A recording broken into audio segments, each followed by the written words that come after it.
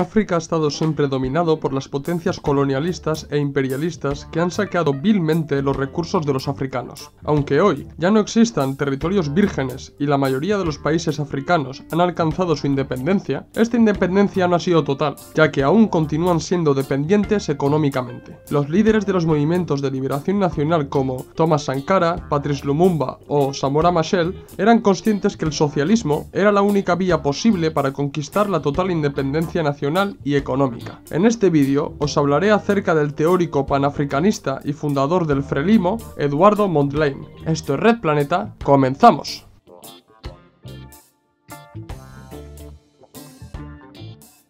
Eduardo Chibambo Mondlane nació en Manjacase, África Oriental Portuguesa, en el año 1920. Eduardo Mondlane era hijo de un jefe tribal de la tribu Mantú de los Changa. Mondlane era el cuarto de los 16 hermanos, pero él comenzó a destacar entre sus 16 hermanos debido a su lucidez, interés por recabar mayor conocimiento, por su preocupación para con sus vecinos y las ganas de cambiar el estado de las cosas en Mozambique. Eduardo trabajó toda su infancia cuidando las cabras de la familia, hasta que que con 12 años entró en la escuela para cursar secundaria. No obstante, Mondlane fue rechazado por haber sido considerado mayor para cursar los estudios de secundaria. Eduardo no iba a desistir en su empeño de cultivarse, por ello marchó a Sudáfrica, donde estudió en la escuela parroquial en Lemana, en la región de Transvaal, y posteriormente ingresó en la Universidad Witwatersrand, en Johannesburgo, pero fue expulsado del país una vez instaurado el apartheid en Sudáfrica. El joven mozambiqueño viajó a los Estados Unidos para ingresar primero en el Oberlin College de Ohio y segundo en la Universidad de Northwestern en Illinois, donde se graduó y se doctoró en sociología y antropología. Antes de regresar a Mozambique,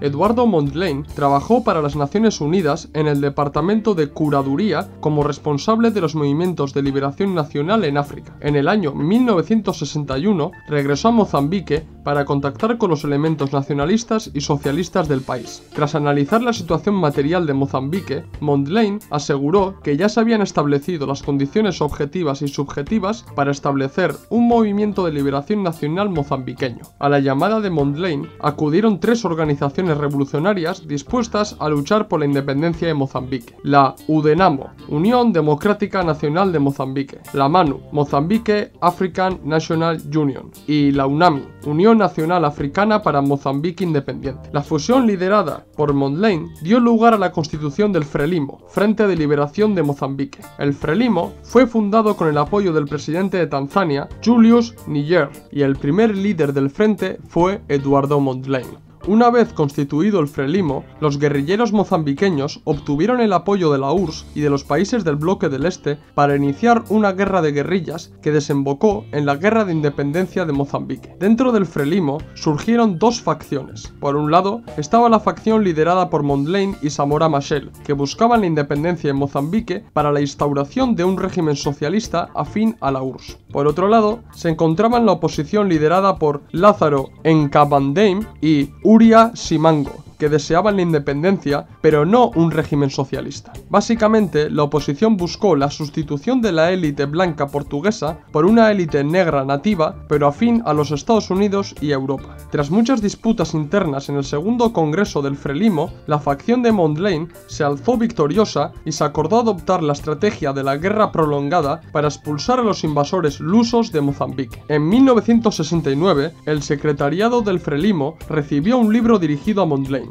El libro resultó ser un libro bomba, que mató al instante al líder mozambiqueño. Posteriormente, en 1990, se descubrió que el atentado fue parte de la Operación Gladio que buscaba aniquilar todos los movimientos socialistas prosoviéticos que surgieron tras la Segunda Guerra Mundial. Eduardo Mondlane fue asesinado y Samora Machel recogió el testigo. Este consiguió no solo conquistar la soberanía nacional de Mozambique, sino que trató de instaurar un régimen socialista en Mozambique. Quiero recordar que en el canal de YouTube YouTube y en Instagram TV hizo un vídeo especial acerca de Samora Machel y la Mozambique socialista. Una vez más, los imperialistas se opusieron abiertamente y atacaron a un pueblo digno y resulta ser libres, como fue el pueblo de Mozambique, que junto a Eduardo Mondlane y Samora Machel pelearon hasta el final por conquistar la total independencia del país africano. ¿Qué os ha parecido el vídeo? ¿Conocíais a Eduardo Mondlane? Dar like si os ha gustado el vídeo, dejar vuestro comentario y suscribiros al canal. Asimismo recordar que Replaneta está presente en Twitter, Facebook e Instagram donde subo nuevo contenido a diario. Esto es todo, hasta el próximo vídeo. ¡Salud camaradas!